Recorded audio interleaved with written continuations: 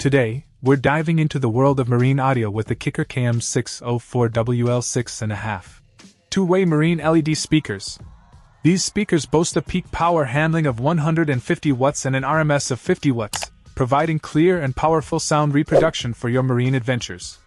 With a 4 ohm impedance, these speakers are designed to work efficiently with your marine audio system. Point one of the standout features of these speakers is their water resistant design, making them perfect for marine environments where exposure to water is inevitable.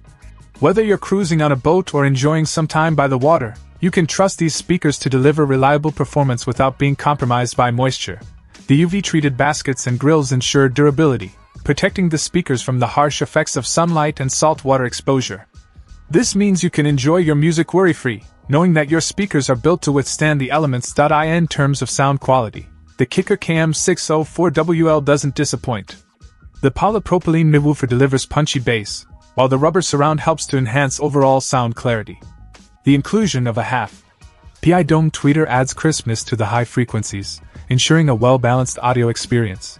Installation is a breeze thanks to the coaxial connectivity technology, allowing for easy integration with your existing marine audio setup. Plus, the white grills add a sleek and stylish touch to complement any boat interior.